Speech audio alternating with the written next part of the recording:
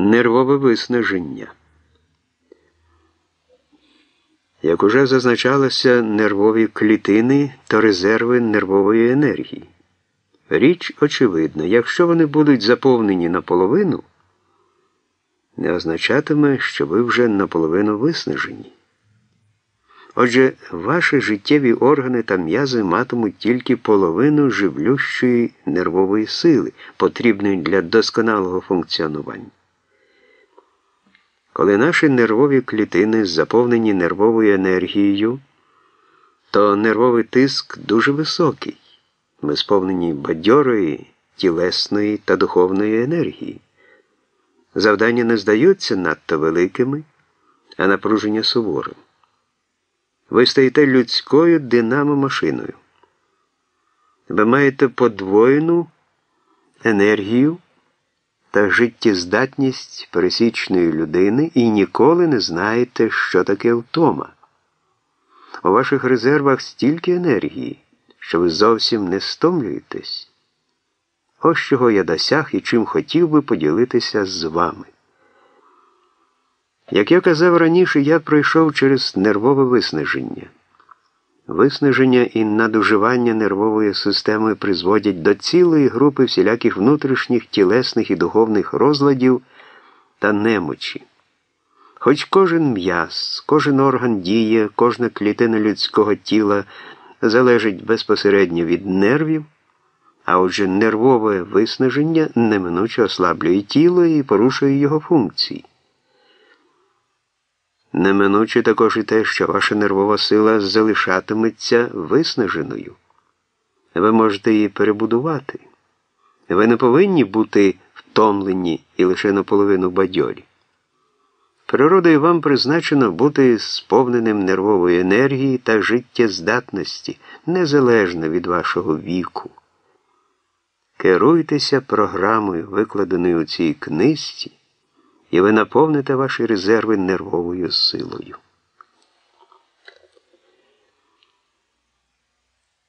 Нервова депресія.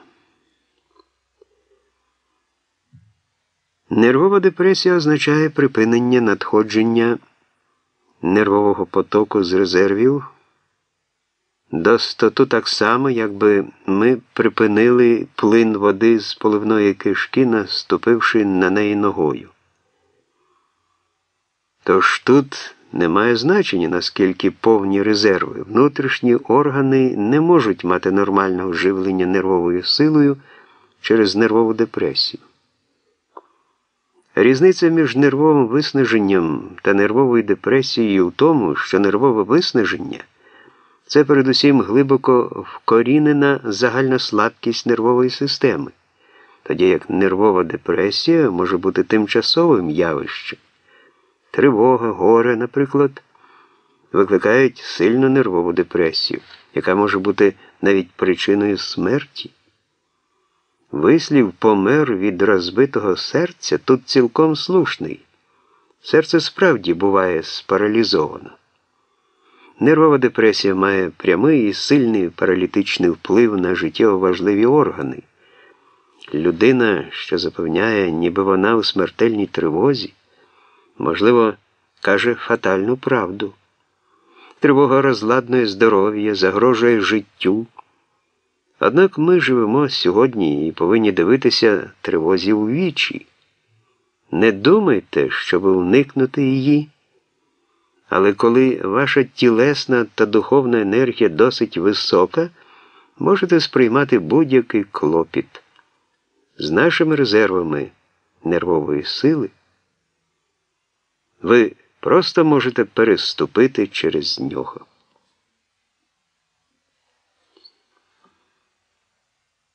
Нервове напруження. Нервовий стрес і напруження, викликані гнівом чи страхом, можуть закінчитися миттєвою смертю. Під час Великої депресії. 30-х років я особисто знав бізнесменів, які помирали від стресу, ставши фінансовими банкрутами. За нервового напруження сила селена нервової снаги витрачається за короткий відтинок часу, викликаючи надзвичайну діяльність життєвих органів. Усі ми спостерігали за серцебиттям, прискореним диханням та активною діяльністю кишечника, наприклад, при переляці. Нервові стреси та напруження викликають надзвичайну витрату нервової сили. Ось чому ми почуваємося вичавленими після раптового ляку чи сварки. За інтенсивного нервового напруження навіть людина, в якої нервові резерви спустошені аж до дна, може за короткий період вилити силу селенно-нервової енергії, створеної незвичайною силою. Я нещодавно читав про двох 15-річних хлопчаків, які гуляли в лісі, коли раптом схопилася буря. Блискавкою звалило дерево, і воно впало на одного з хлопців. Він закричав з болю та страху. Інший хлопець, маючи величезну нервову силу, підняв важенне дерево, звільнивши товариша, завдав його на плечі і пробіг п'ять миль, щоб йому подали першу допомогу. Наступного дня батьки потерпілого хлопця та ще троє чоловіків пішли на місце подій.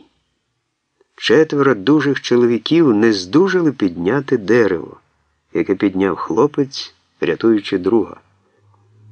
Ми хочемо створити потужну нервову силу щоб тримати наші резерви повними і бути готовими до будь-яких випадковостей.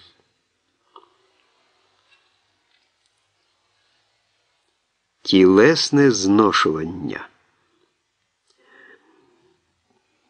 Коли наша нервова сила виснажена, ми почуваємо духовну та тілесну втому і стимулюємо себе напруженням волі.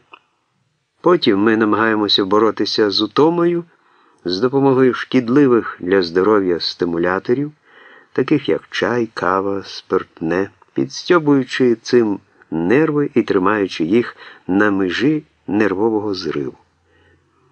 Потім ми починаємо відчувати себе старими, хоча молоді літами, бо наша нервова сила стає дедалі виснаженіша спостерігаються чимраз очевидніше порушення наших духовних, фізичних та внутрішніх сил.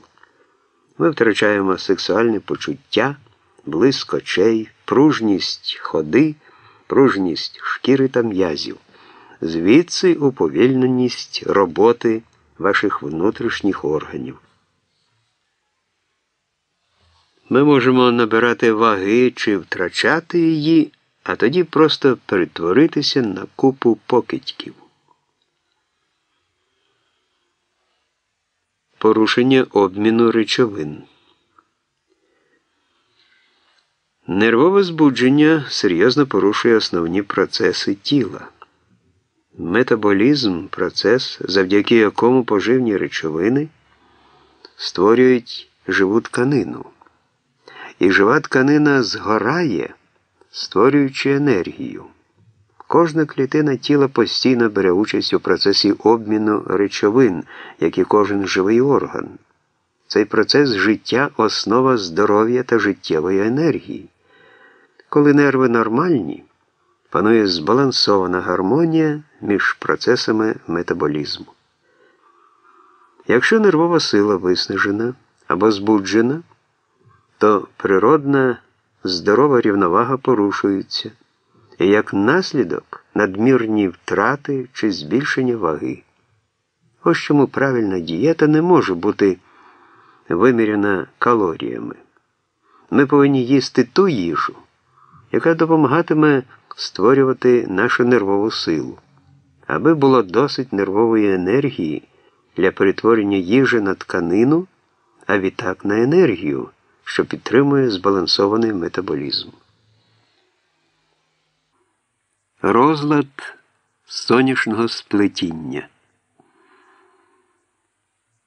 Як з'ясовано попереду симпатична нервова система керує життєво важливими органами. Основна частина цієї системи відома як пневмогастрична нервова система, центром якої є сонячне сплетіння черевний мозок, відомий у вченні йогів як другий мозок людини. Пневмогастрична нервова система керує диханням і травленням, тому її назвали пневмолегені і гастричний черевний. Вона тісно пов'язана з усіма життєво важливими органами.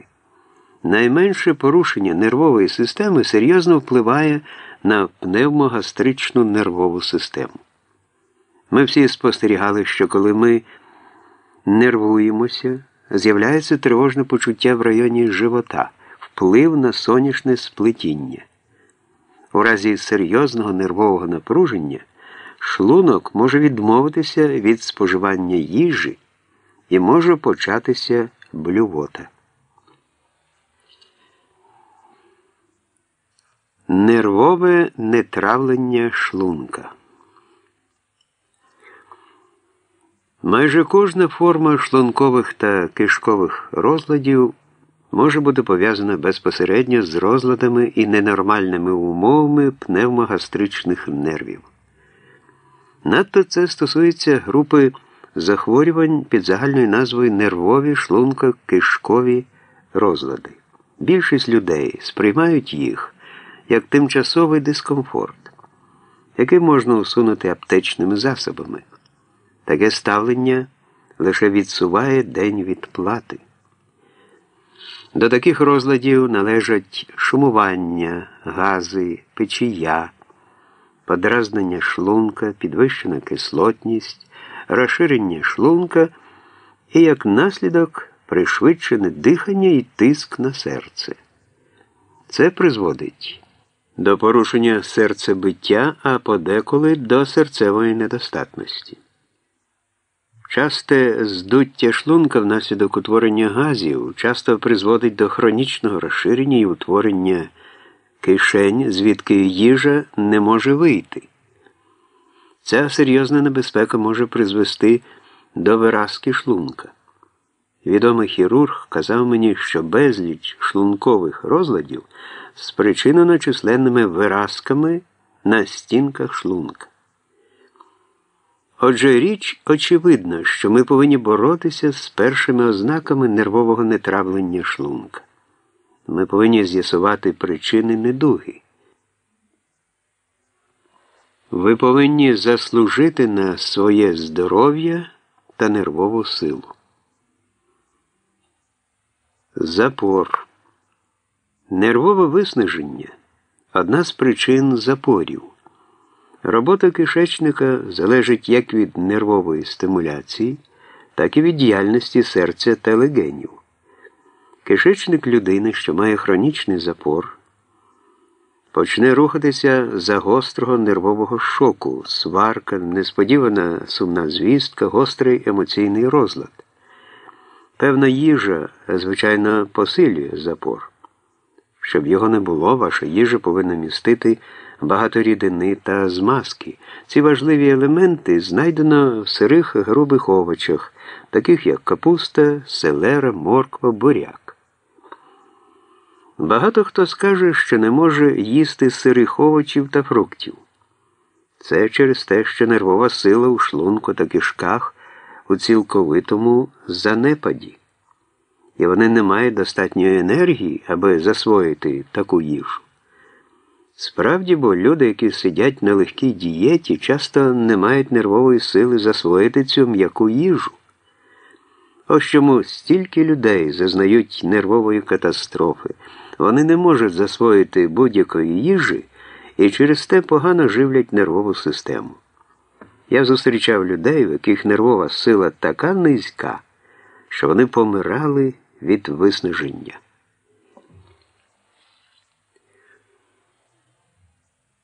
Живіть свої нерви, не підстьобуючи їх.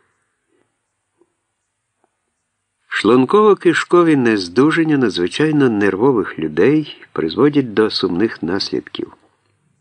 По-перше, нервове виснаження ушкоджує потужні органи травлення. Вони, у свою чергу, утворюють отруйні токсини, які далі виснажують нерви. Коли нервова тканина згорає з отруйними токсинами, нерви не можуть як слід функціонувати. Нерви кожної жертви нетравлення шлунку, надто нервової нестравності, так само від цього потерпають. Проте мало хто розуміє, що причини хвороби криються у слабких нервах, нервовому виснаженні. Люди з ускодженими нервами повинні дуже серйозно ставитися до вибору їжі. Їжу, яка постійно викликає нестравність, треба виключити з вашого раціону. Багато хто з тих, хто п'є каву, наприклад, згодом потерпатиме від нестравності. Те саме буде з тими, хто вживає багато печива, пирогів, кексів, льодяників, сосисок, хрумкої картоплі, смальцю, свинини, шинки, бекону, закусочного м'яса, гірчиці, кетчупа, розсолів та багато іншої безживної їжі. Сила селена людей має всілякі порушення травлення від пиття пива та інших алкогольних напоїв. Алкоголь та тютюн, а також напої, що містять кофеїн, кава, чай, кола, справді підстьобують нерви, що спонукає їх до роботи, на виконанні якої вони не мають енергії. Кофеїн стимулює центральну нервову систему. Той, хто п'є каву, збадьорюється, бо кофеїн мобілізує нервову енергію з усіх резервів. Це, звичайно, призводить до цілковитого нервового виснаження та серйозних захворювань нервової системи. Згідно з аналізом, зробленим фармакологічною радою Американської медичної асоціації, пересічна чашка кави містить близько 2 гранів кофеїну. П'ючи 6 чашок кави денно, ви споживаєте 12 гранів кофеїну. Пересічна терапевтична доза становить 7 гранів і використовується як стимулятор у критичних випадках, таких як пневмонія та шок.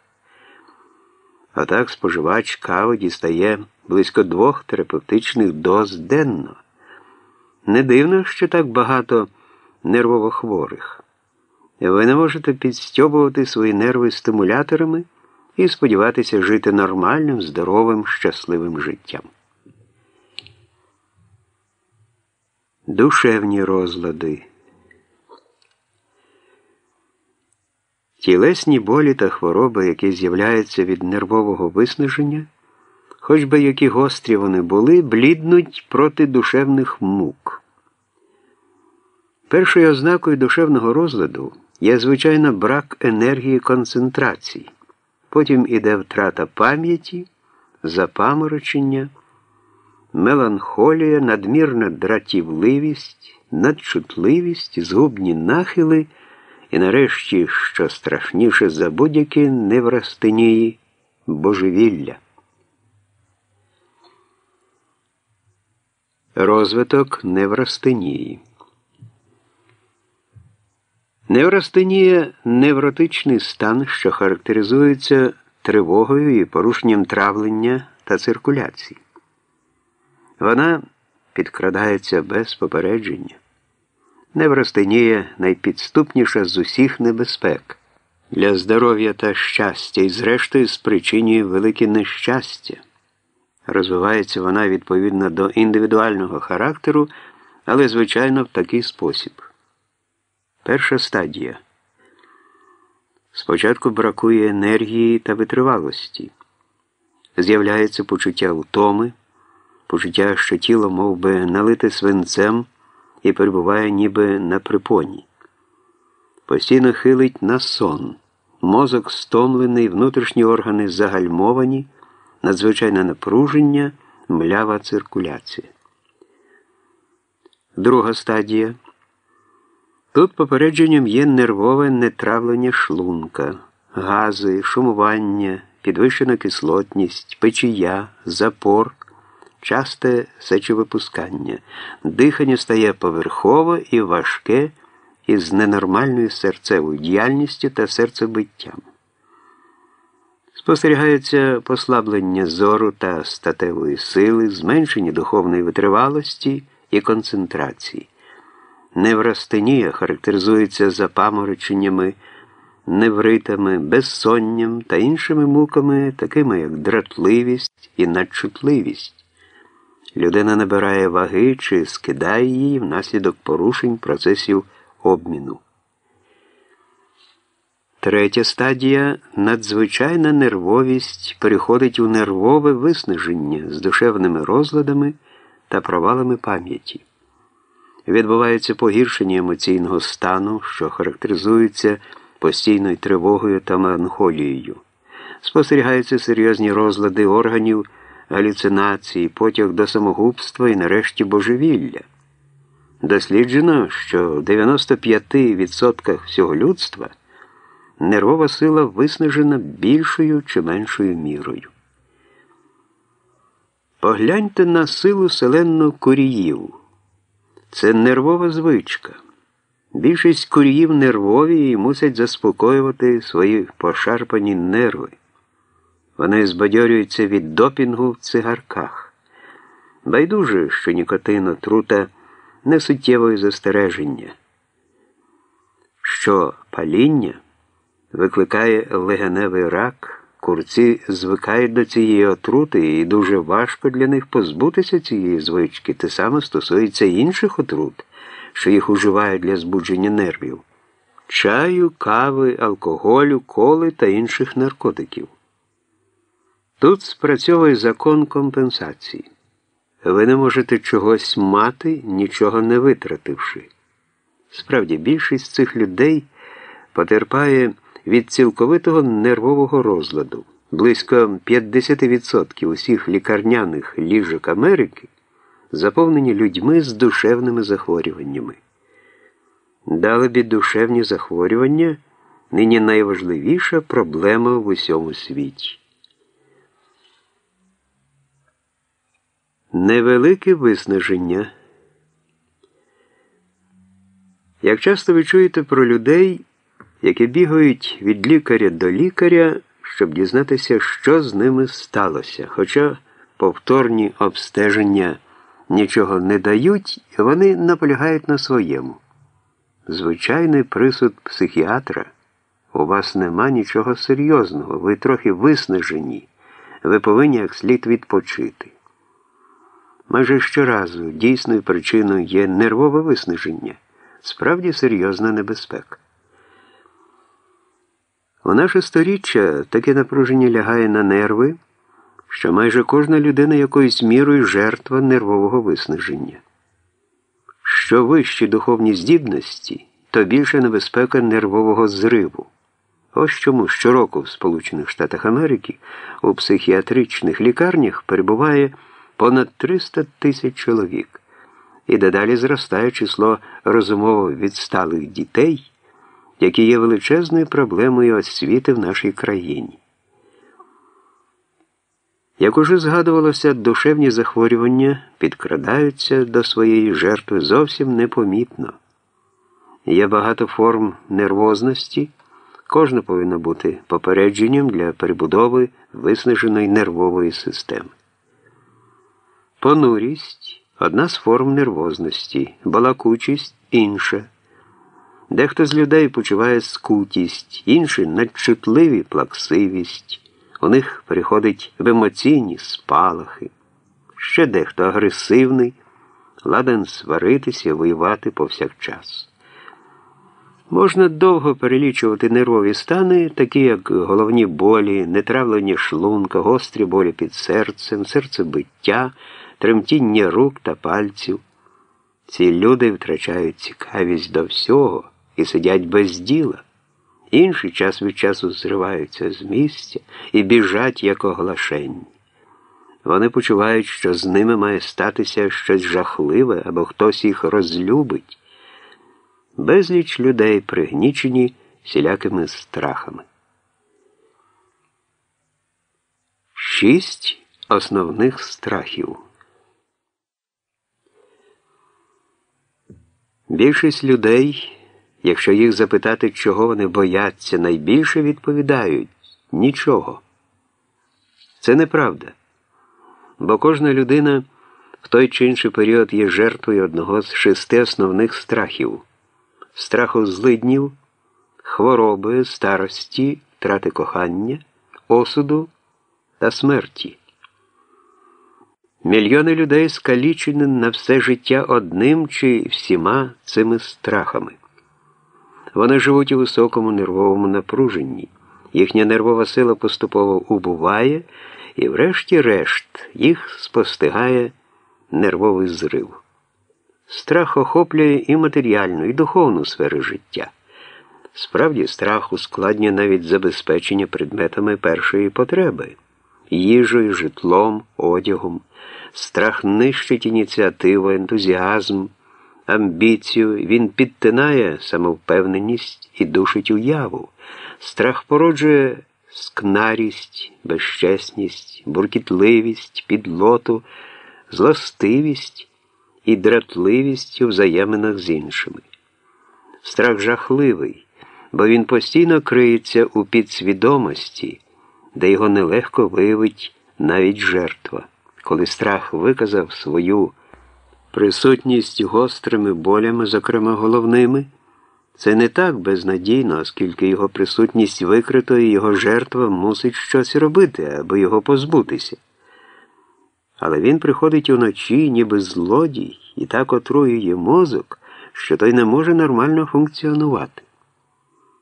Ви і лише ви можете дізнатися про існування ваших страхів. Ви можете контролювати стан свого розуму, коли створите великі запаси нервової сили.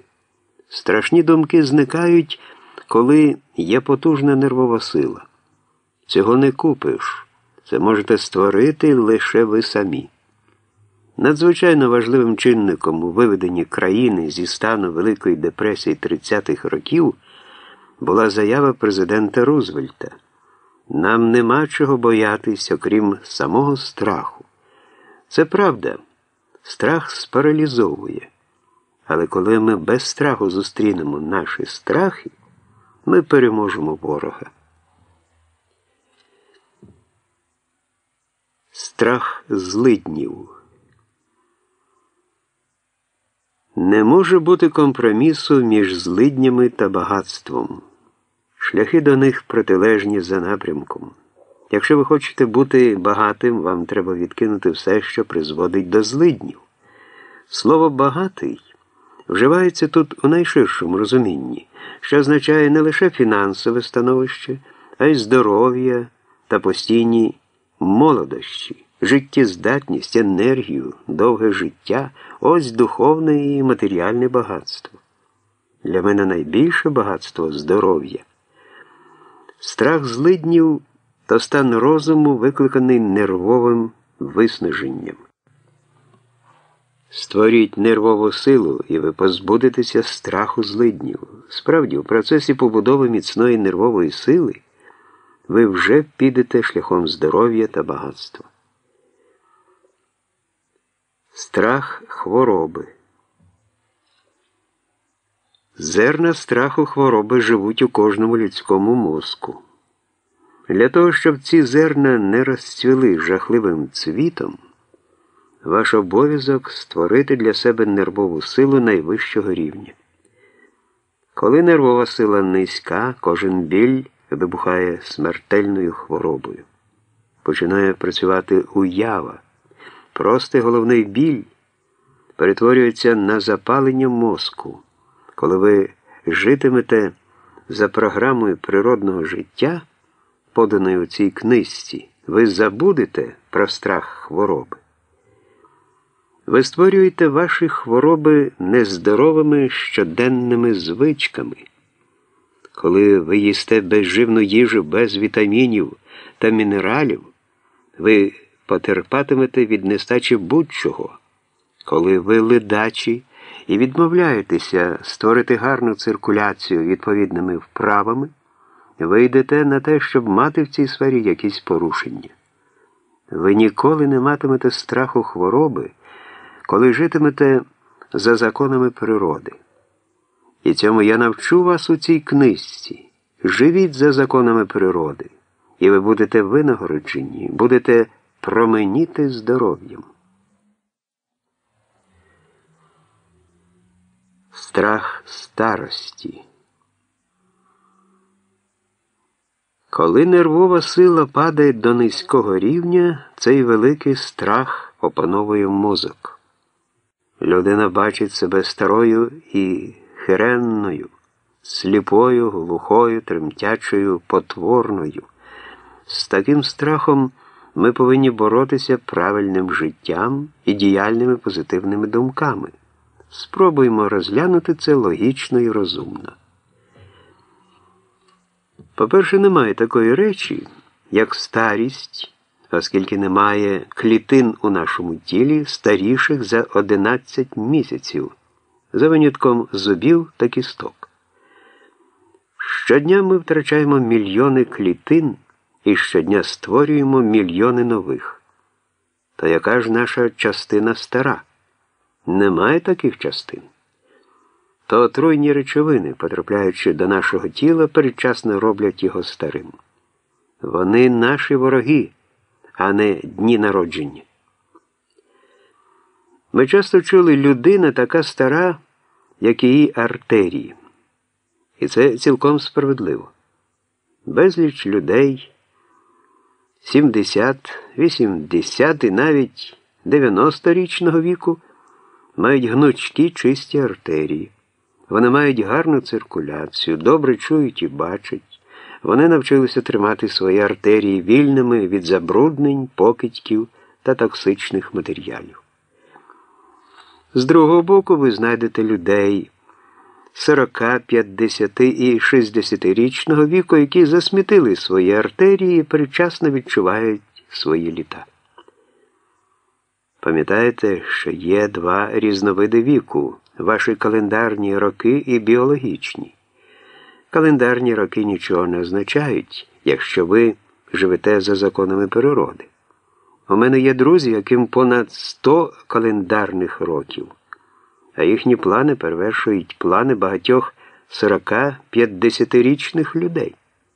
Вони знайшли джерело молодості у здоровому житті. Моєму доброму другові Рою Вайту з Каліфорнії 107 років, проте в нього тіло, яке не знає втоми, болю віку. Він знає закони природи і живе за ними. У нього нема страху старості. За біологічними роками він молодик, і я можу назвати силу інших друзів, які у свої 80, 90, ба навіть 100 років біологічно молоді. Наповніть ваші резерви нервовою снагою повінця, і ви назавжди проженете думки про старість. Моя програма навчить вас, як довше прожити молодим. Страх осуду. Коли нервова сила падає до нижнього рівня, ви стаєте дуже чутливим. Ви відчуваєте, що всі дивляться на вас і осуджують. Щоб позбутися цього страху, перше, що ви маєте вчинити, це зрозуміти, що багато хто з людей сповнений заздрощів. Єдиний шлях, яким вони можуть виправдати свою власну ваду, це постійно осуджувати когось. Таким осудом є, наприклад, сумнівні компліменти. Але це лише вказує на те, що ви можете зробити щось таке, чого не можуть зробити інші. Мої друзі, ветерани політичної арени, часто зауважують, коли у вас ніхто не пускає стріл, це означає, що ви ніде не робите успіхів. Треба непокоїтися, коли вас не осуджують. Це означає, що ви тупцюєте на одному місці. Затямте, що б ви не робили, ви не зможете догодити зразу всім, навіть своїм найближчим родичам. Я добре пам'ятаю, як багато років тому, коли я почав свій шлях здорового життя, дехто з моїх братів та сестер критикував мене і називав здоровим божевільником, диваком, схибленим на їжі, здоровим диваком та багатьма іншими прикрими іменами. А моя нервова сила була на високому рівні, тож вони не могли зруйнувати світу мого розуму. Довгі роки довели, що мій спосіб здорового життя не перестає виробляти нервову силу, даючи мені міцне здоров'я без віку. Я вже багато прожив після того, як поховав своїх критиків. Живучи мудро і розумно, я пропускаю критику повз вуха. Я наодинці з Богом та природою. То чому ж я повинен давати якимось хворим головам впливати на себе? Я живу з високим рівнем розумових, фізичних та духовних сил. Коли я живу правдою та розумом, дріб'язкова критика не може мене зачепити. Ви не проникні для наклепів та балаканини дрібних умів. Страх утрати кохання. Коли у вас занепад нервової сили з'являється комплекс меншовартості, ви втрачаєте самовпевненість, відчуваєте меншовартість, починаєте боятися, що хтось відбере у вас близьку і дорогу вам людину. Є тільки один спосіб перемогти цей гнітючий страх це піднести вашу нервову силу з допомогою природного життя так високо, що будь-яке почуття меншовартості покине вас назавжди. Ревнощі така річ, з якою ми всі повинні боротися. Ми можемо кохати когось, але це не означає, що ця людина наша власність. Коли ви побудуєте свою нервову силу, то зрозумієте мудрість того, що кожна людина може жити своїм власним життям. Створіть таку нервову силу, аби піднестися над ревнощами, над своїм страхом утратити кохану чи коханого. Любов найбільша у світі сила. Кохайте і будете коханим. Пам'ятайте, що ви ніколи не втратите того, кого ви кохаєте і хто кохає вас. Коли ви віддаєте вашого коханого чи кохану, можете бути певні, що він, вона насправді не були вашими коханими. Ви повинні пам'ятати, що у світі живе сила селенна непостійних людей, і не треба побиватися, втративши їх. З цього приводу можна згадати класичні рядки краще мати кохання і втратити його ніж не мати його зовсім. Страх залишиться самому і не бути коханим, хоч і находить на багатьох людей безпричинний. Завжди є хтось, хто потребує вашого кохання, хто хоче вас кохати. Шукайте і знайдете.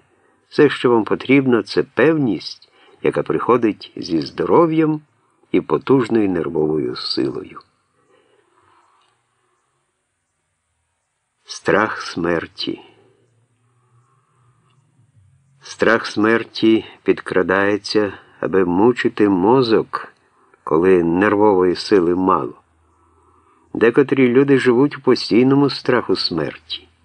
Ці хворобливі думки, здається, замінюють усі духовні процеси. Психіатричні лікарні переповнені чоловіками та жінками, які збожеволіли через страх смерті. Цей страх безглуздий, смерть настане незалежно від того, думають про неї чи ні. Шекспір сказав, боягузи помирають задовго до смерті, звитяжний помирає тільки раз.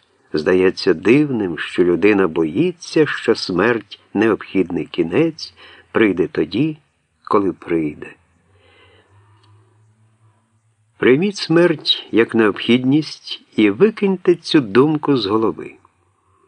Можливо, це не так погано, як описано. Звичайно, страх гірший за це. Молодість це готування до старості, життя це готування до смерті. Нема причин, щоб помирати нещасливим. Якщо ви працювали добре, зробили свою частку доброго у світі і уладнали свої справи, чому ви не повинні йти бадьоро і з вдячним серцем? Якщо ви живете довго Не заплющуйте очей на смерть. Говоріть про неї бадьоро, приймайте її, готуйте себе до зустрічі з нею. Все життя готування до смерті. Поводьтеся так, щоб ви могли піти з великою втіхою і без каяття. Живіть гідно, щоб гідно померти. Нині в атомну добу наука говорить, що Всесвіт енергія. І перший закон фізики каже, що енергія не створюється і не зникає. Вона виявляється безкінечним числом шляхів у всьому розмаїті форм матерії, але енергія все та сама. Вона може бути перетворена, але не може бути знищена. Життя це енергія. І коли енергія не може бути знищена, то й життя не може бути знищене, як і всі інші форми енергії. Життя може проходити через усілякі процеси переходів та змін, але й далі залишається життєвою енергією. Смерть то лише перехід. Якщо смерть не просто зміна чи перехід, тоді після смерті нічого не відбувається, крім довгого мирного сну, а сну нема чого боятися. У такий спосіб ви можете позбутися страху смерті. Для мене особиста думка про смерть дуже далеко. Я мислю тільки термінами життя. Я вірю, що ночі, коли ми засинаємо, ми помираємо, а прокидаючись уранці, ми починаємо нове життя. Так я роблю щодня, наскільки це можливо. Ріка думок. Життя схоже на велику ріку, яка розгалужується на два потоки. Перший потік несе всіх до успіху, здоров'я та щастя, другий тече в протилежному напрямі і виносить усіх до хвороб, передчасної старості, лих та невдач. Ця ріка не фантастична і не штучна. Вона існує так само, як Міссісіпі, але вона тече у мозку людини. І складається вона не з води, а з думок. Потік успіху цієї ріки становлять позитивні думки, потік невдач негативні. І найбільшу небезпеку в негативних думках становить страх. Релігія супроти страху. Віра творить цінності, страх їх нищить. Віра будує, страх руйнує. Так було з першого дня цивілізації, так буде до останнього дня. Всі успіхи починалися з віри, всі невдачі зі страху. Ось чому нам треба зрозуміти природу і причину страху і як побороти його. Страх не постійна річ. Я кажу це з цілковитою певністю, бо знаю переваги віри перед руйнацією, яку здійснює страх. Головною метою мого життя була допомога людям у подоланні страху та створенні віри. Багато чоловіків і жінок з усього світу приходять до моєї контори чи до моїх класів здоров'я, бо їх так підстьобує страх, що вони здатні на самогубство. І я бачив цих самих чоловіків та жінок, коли, дотримуючись програми створення нервової сили, викладеної у цій книжці, вони змінили своє життя і стали готові подолати будь-які перешкоди на своєму шляху. Ви не позбудетеся стресів та напруження, коли вас приповнює страх. Ви не почуватиметесь молодим та здоровим, коли не вірите матері природі. Ви повинні цілком їй вірити, і вона допоможе вам подолати всі душевні та тілесні хвороби. Коли ви заповните резерви нервовою силою завдяки правильному життю, то подолаєте всі страхи. Подолання страхів. Для подолання страху потрібна фізична, духовна та розумова енергія. Ви повинні подолати свій страх самі, тож бо з вами має бути ваша мудрість. Цікаво, що на сторінках старого і нового заповітів Біблії можна знайти джерело духовної енергії для подолання страху. Ось деякі цитати.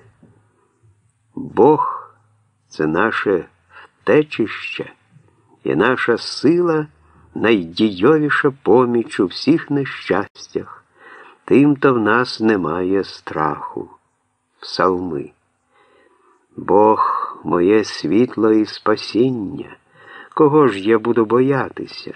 Бог сила мого життя, та кого ж я і злякаюсь? Псалми. Бог не дає вам почуття страху, а тільки енергію, любов та здоровий глузд. Давайте ці слова чоловікам та жінкам, які борються з нещастями та невдачами. Хай вони у своїх спогляданнях проказують їх знов і знов, аж поки їхня віра не випалить собі шлях у їхніх умах і не спалахне їхньою власною вірою. Керуючись програмою природного життя, ви повинні звернутися до найвищої сили по допомогу у звільненні від страхів та нервового напруження. У ваших щоденних спогляданнях ви можете зустрічатися з цією силою. Не хлібом єдиним живе людина. Не тікайте від страху, аналізуйте його і сприймайте не інакше, як тілесне почуття. Не будьте обдуреним тілесним почуттям. Є східна казка про людину, яку переслідували, як вона вважала демони. У паніці вона бігла день і ніч, аж поки у знемозі з дикими очима обернулася до своїх мучителів. На превеликий її подив, жахливі демони щезли, то був тільки страх, породжений її власною уявою. Інший демон, якого вам треба позбутися, жаль до себе. Почуття жалю до себе то безглузде марнування енергії, та ще й певний спосіб позбутися симпатії та допомоги інших. Коли ж правдиве горе прийде до вас, а це буде, дивіться йому в вічі і знайте, що час усе вилікує. Ніколи не миріться з поразкою.